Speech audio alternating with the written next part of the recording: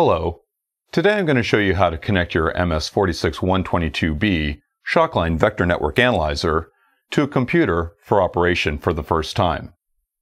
Your kit should contain the instrument, a power supply, a USB cable, a set of RF cables, calibration kit, and a torque wrench. So the first thing I'm going to do is I'm going to take my power supply and connect it to the front power supply port on the instrument. Next, I'll take my USB cable and connect that to the front of the instrument and connect the other end to my computer that I'm going to use for operating the instrument. Now I'll turn on the instrument. As you can hear, the USB bus recognizes that there's something on the bus. So the next thing I need to do is download the software from the Anritsu website. So for that, I'm going to open a web browser, type www.anritsu.com, and then if I go to the menu here, I can click Support,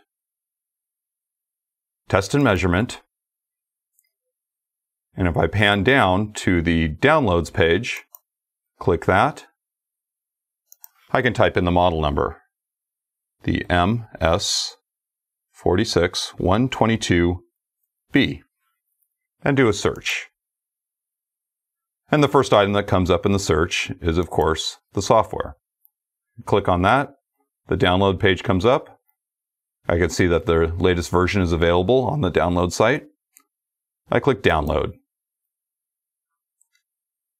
This will take a few seconds to download the software.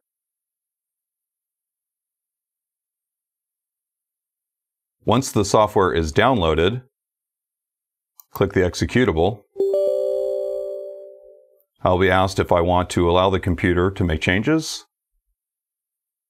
Say yes. Next.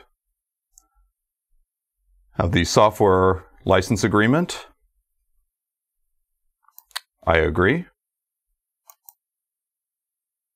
And now the software will automatically start to install when I click install.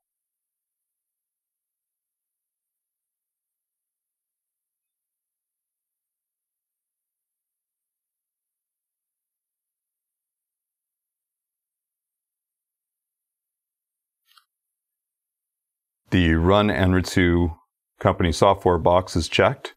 So when I click Finish, it'll automatically launch the application.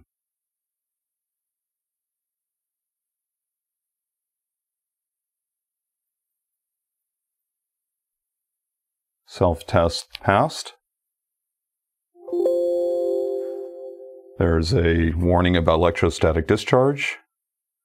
Click OK. And now we're ready to calibrate. Next time you want to run the software, all you need to do is just click the shortcut or go to the Start menu and click Shockline.